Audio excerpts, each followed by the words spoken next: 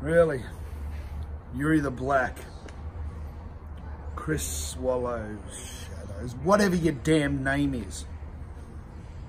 You came into my building at GCW. You thought you were going to run roughshod over everybody. Guess what? We made you leave with your tails between your legs. Yes, and Yuri, I think the word you were looking for was unceremoniously. Yes, we had you unceremoniously ejected from the building. And yes, you did sneak back in, but you took advantage. When our security was busy dealing with something else, you snuck back in and then you ran into the ring and you attacked our champion.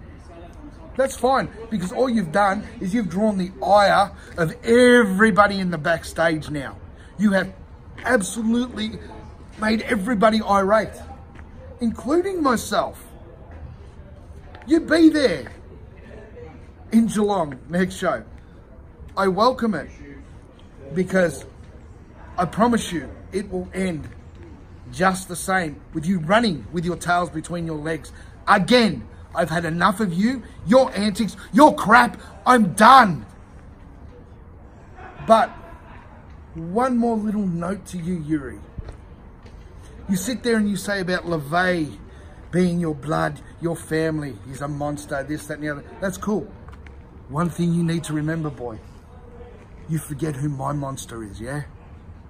He's one half of the GCW Tag Team Champions. Don't ever forget it. Come, bring it. I'm friggin' waiting.